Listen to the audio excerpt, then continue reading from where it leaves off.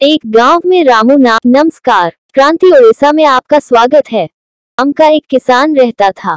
वह अपने खेत में काम करके अपना गुजारा चलाता था।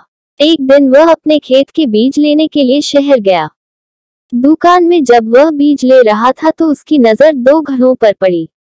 दोनों घड़े देखने में काफ़ी अच्छे लग रहे थे। रामू ने सोचा कि इनको ले जाकर मैं नदी से ज़्यादा पानी ला सकूँगा। यह सोचकर उसने दोनों घड़े ले लिए। अगले दिन उसने दोनों घड़ों को रस्सी की सहायता से एक डंडे में बाँध दिया और नदी की ओर पानी लेने चला गया। नदी में उसने पानी भरा और अपने घर आ गया। घर आने पर उसने देखा कि एक घड़े में पूरा पानी था, जबकि दूसरे घड़े में पानी आधा था। यह देखकर रामू समझ गया कि एक घड़ा फूटा हुआ है।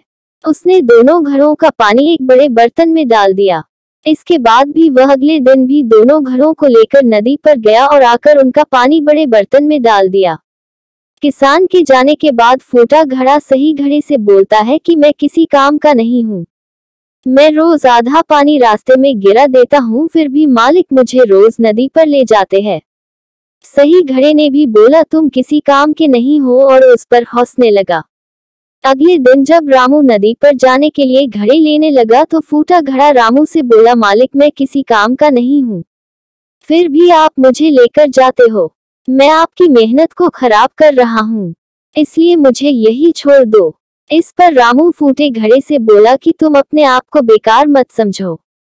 तुम मेरे साथ चलो और रास्ते में आते समय रास्ते के फूलों को देखो, उससे तुम्हारा मन ठीक हो जाएगा। फूटा घड़ा मान गया और रामू दोनों घरों को लेकर नदी से पानी लेने चला गया। आते समय फूटे घड़े ने रास्ते के फूलों को देखा तो उसको बहुत अच्छा लगा।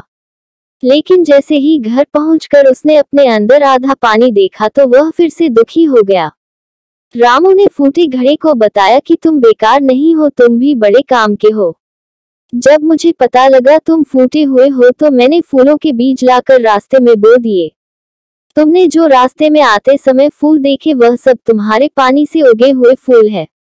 इसके साथ तुम्हारी वजह से मुझे फ़ायदा भी हो रहा है, क्योंकि इन रास्ते के फूलों को बाज़ार में ले जाकर बेच देता हूँ, जिससे मुझे इनकी अच्छी कीमत भी मिल जाती है।